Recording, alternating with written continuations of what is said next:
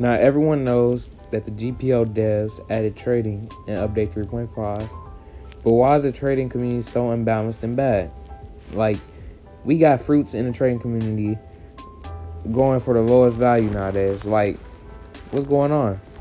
Um, but before we go deeper into that conversation, it would be appreciated if you could leave a like and hit the subscribe button to help me reach my goal of 5,000 subs. And if you want to add a little bit extra to that, uh, go ahead and hit that notification bell so that S tier content will get dropped straight into your feed. Um, but, anyways, back to what I was saying.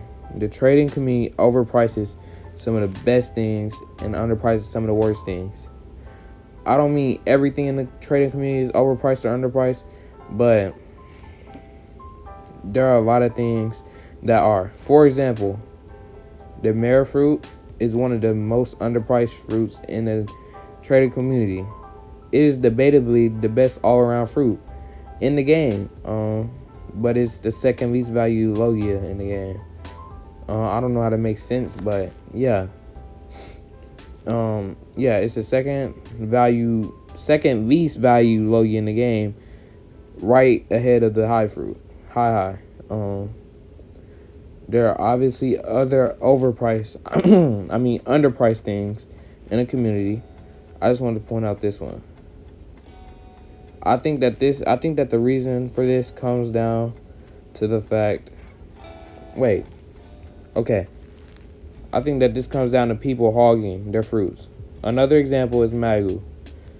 The Magu is arguably the worst fruit for PvP and isn't even top tier for Marines anymore since it can't really kill Galleons easily because the Galleon's hitboxes are glitched. Um, so why is it the second most valuable Logia? Well, in my opinion, I think it comes down to toxic traders overpricing their fruits. For example, there are people out there who will want something so bad that they are knowing they're overpaying, but they will still overpay. They will still overpay. If you that you haven't done this, then you're lying, because there's just no way. Like I know I've done it a couple times. It's just like you want something so like right there, so you overpay for it. Um, but yeah, um, say someone overpaid someone with Magu say someone overpaid them for their Magu, right?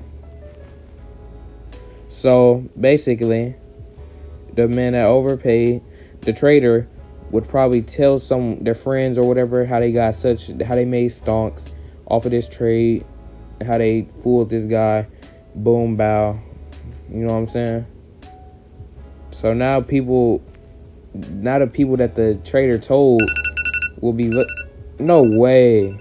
Ignore that um not the person that they told will be basically um the people that they told will be I'm sorry that threw that threw me off but the people that they told will go out and basically they will want that from Magu also that overpriced pay that they got um they'll be trying to fool people too so they're gonna hog their fruits unless they get a trade that's of that value or higher right um so yeah, this is just a cycle I feel like that goes around in the community.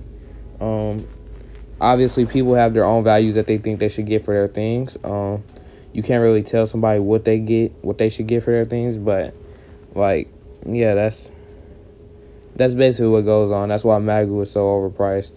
In my opinion, Magu is not even that good. Um, Mera definitely deserves to be higher priced in the in the trading community, but um this was my opinion, so please don't go crazy on me in the comments.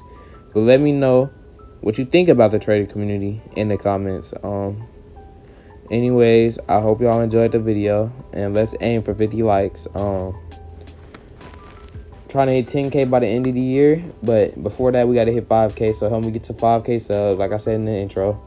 Um, also, let me know in the comments. I need you let me know two things. Let me know what you thought. Let me know what you think about the trading community. Also, let me know if you like the scripted videos better. I apologize for the alarm going off or whatever. Um, anyways, I love y'all boys. Um, I'm out, man. I'll see y'all in the next video.